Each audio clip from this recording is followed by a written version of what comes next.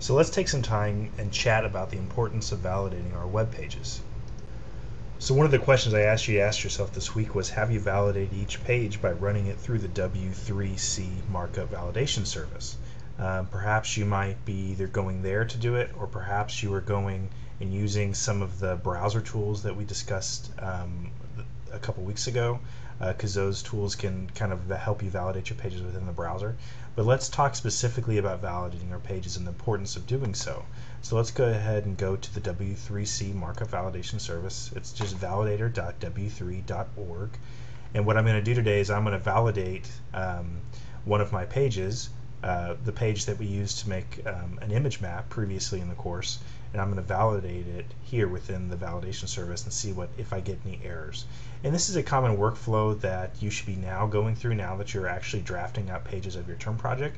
Don't wait to the end to validate. Go ahead and try to validate as you go along because it'll help you uh, fix errors as they come up. And because sometimes within the validation service you'll notice that um, it's not always exact exactly for where the error uh, is occurring. So it helps if you're kind of you know validating as like uh, as you go along the way, so you know it'll help you better figure out. Okay, I just finished this chunk, then the error must be within there, um, because sometimes errors can cause other errors down the road. Um, so what we're going to do is, um, and then another thing uh, I talk about here in our page is scroll down here to the bottom. Why validate? This just gives you a brief history of why we even have a validator and the reasons for doing for doing it. Um, I highly suggest going through and taking a look at that. But let's go ahead and validate by file upload. Once we get our pages on LabWebs, we can actually validate by giving it a link on LabWebs. Um, but for our purposes today, we're just going to validate by file upload.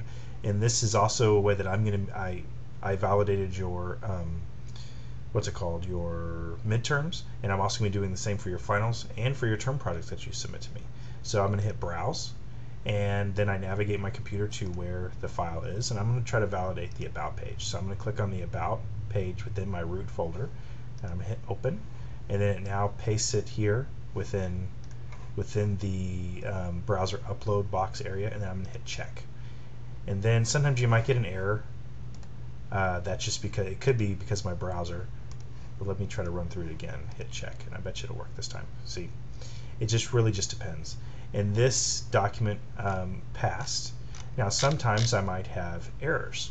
So I'm going to go back and I'm going to validate another page. To validate another page I find it easier just to back up and rebrowse. Now I'm going to browse for my index page. That was the first page that I made on my site. I'm going to hit open and I'm going to hit check. And as you notice, wow, 14 errors and 13 warnings. Let's scroll down and kind of see what this is telling us. So here um, one of the helpful things is it'll tell you the line and the column. So it tells me here the element name above was found and context was not allowed. So basically, sometimes these descriptions down here are very helpful, but sometimes they're a little they're a little um, heady.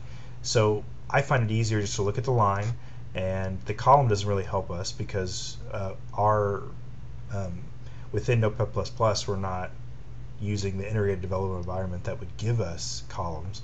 So let's just look at the line because all of our stuff in Notepad++ is line. So I go, and then this also tells me, now this gives me a cue, a cue here um, that position error was detected. So you notice how my, my cursor has this little question mark. I'm in Firefox and it has this functionality. So I'm going to go back and look at my code where this problem might, where this problem is and see if that'll give me a cue, excuse me, on what I need to fix. So here is that page.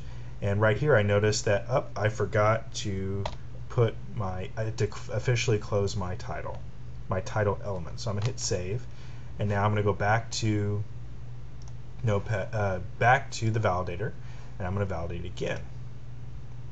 And now notice my errors has gone down. So let's come down here and check the next one.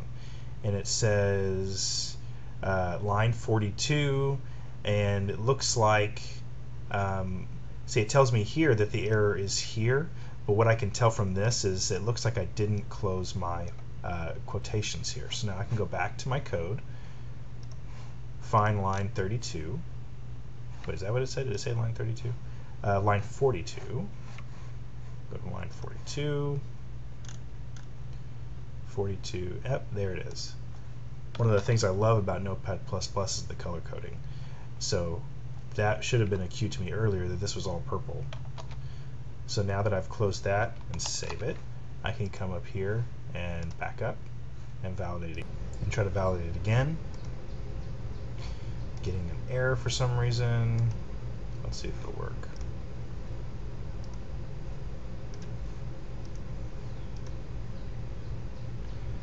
So I finally got it to go through. For some reason, I've been getting errors here recently with the W3C validation service, and sometimes it helps to just clear your cache or uh, go back in or try different browsers. So now I have two errors. Let's scroll down and see what those are. It says the end tag for the P was omitted, line 49. So let's go to line 49. Well, line 49, I don't see what it's talking about with the P, but if I look up here in line 48, I notice that my P, my paragraph is not closed, so I'm going to close that. Hit save. Going to back up, hit check again. Another error, come on. This is frustrating sometimes. Hit check, another error. Any day now. I think it actually does do better with the errors if you're if you're checking for uh, validating if it's on the web. It just has to do with a bug with the file upload. So now we have uh, one final error. This is the end tag for the body was omitted. So let's look at line 51. Let's go to line 51, 51. And you realize, oh, I didn't have my ending body element. And I fix that, up, we're probably going to get an error, but you never know. Hit check. And guess what? No errors and our document passed. That's great. So this is just a, uh, you know, a reminder to help us um, make sure that our pages are consistent. That's what the validator service helps us do, and it helps us, um, you know, ensure that our pages are developed with the best standards in mind to make sure that they, you know, are perhaps more functional uh, for responsive web design in terms of mobile devices and other things, and updating browsers in the future and stuff like that. If we didn't have some someone or something like the validation service to govern the web, then we potentially would have just lots and lots and lots of different types of rules for code, and then it would be difficult for um, one browser to be able to view everybody's code and stuff like that. So that's why it's all standardized. And it also also forced us to make sure that we keep our code code clean and simple, and make sure that we are writing everything correctly. So you know, not closing elements is something common that people get errors for in this class, forgetting to do a quotation um, or mixing up and putting. I've seen lots of times where they'll start putting content perhaps above the, the style area or above the head or having lots of other content in the head when it needs to be all within the body. You know, those are just some of the things to watch out for. Um, so enjoy uh, validating your pages with the um, validator and because that's what I do whenever I grade your homework and stuff like that too as well. But um, I just wanted to go ahead and go through that. Another thing to realize is that within the web development lifecycle, just because now we're getting to validation doesn't mean that you have to go wait until the end of uh, uh, of because it's not necessarily sequential. You don't get to validation necessarily at the very end. It's kind of a more of a cyclical process that would allow it to happen at any stage in the game. Um, so, anyways, enjoy validating and let the class or I know if you have any questions. Have a good day.